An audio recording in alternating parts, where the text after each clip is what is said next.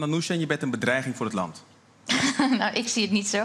Nee, Ja, ja, maar ik, eh, de je, Amerikaanse overheid ziet het wel zo, want je bent Ja. geboren in Teheran. Ja, klopt. Ik ben inderdaad geboren in Iran, maar ik woon hier al sinds mijn zevende. Ik beschouw mezelf als Nederlander. Ik heb enkel een Nederlands paspoort. En eh, voor zover ik weet ben ik gewoon een Nederlander, net zoals Hoe ervaar ander. jij het? Want het, het gaat over jou. Ik bedoel, je bent Nederlandse, Eh, ja. maar je bent geboren in Iran. en Je bent geboren in, eh, in Teheran, dus het gaat over jou. Ja, ja, en eh, dat is heel gek, want eh, weet je, tuurlijk ben je er altijd van bewust hoe, hoe belangrijk het is dat je bijvoorbeeld wel gaat stemmen en dat je dat altijd doet. Maar in dit geval, ik had echt voor het eerst dat het me zo ontzettend persoonlijk raakt en dat je als persoon ook heel erg nietig voelt en heel onbelangrijk. Want ik heb nooit een keuze gehad waar ik ben geboren, obviously, daar kan ik niks aan doen. Dus het En je feit bent dat ook dat... geen terrorist.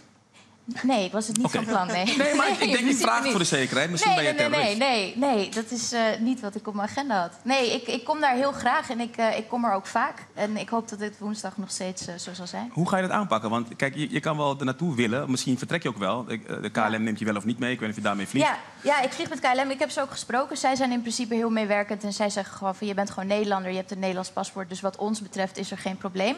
Ik heb eh, vijf instanties gebeld vandaag. Van buitenlandse zaken tot, eh, eh, tot eh, consulaat. Tot het ambassade, eh, Iraanse, Amerikaanse. Maar eigenlijk weet niemand wat er nu precies aan de hand is. En ze zeggen allemaal, we kunnen het niet helemaal goed. Maar we kunnen er niks over zeggen. Dus het is een beetje... Ervaar je het dan als chaos of hoe ervaar je het? Nou, ik, ja, ik ervaar het voor iedereen als iets wat ontzettend grijs is. En, en ik denk dat het per bewoner zou moeten worden eh, bes- beslist of je wel of niet erin komt. In mijn geval, ik heb heel veel eh, stempels van Amerika. Ik kom daar echt heel vaak. Dus ik vermoed zelf, ik hoop dat het geen punt zal zijn. Ik hoop dat het geen probleem is. Maar ik ga hoe dan ook het proberen en ik ga ook alles vastleggen. Maar het is er ook al van de gekken dat je dit allemaal moet doen. Dat je al Ja, dat die je telefoontjes moet plegen moet verantwoorden. Van- ja. hiermee bezig moet Maar zijn. heb, Ja. je, heb jij geen Iraanse nationaliteit meer?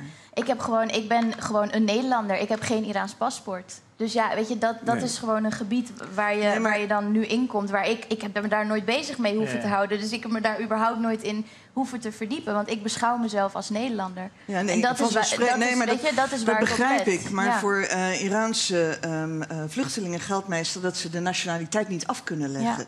Dus dat je die behoudt. En op het moment dat je naar Amerika gaat, is er de kans dat in de computer opduikt, Ja. hè, ook met geboorteplaats Ja, Teheran, die kans is dat er. je ook een Iraanse staatsburger bent. Ja, dat is een hele treurige kans. Iets waar ik nooit eh, voor heb gekozen. En iets waar ik niet zoveel aan kan doen, natuurlijk. Nee. Ja.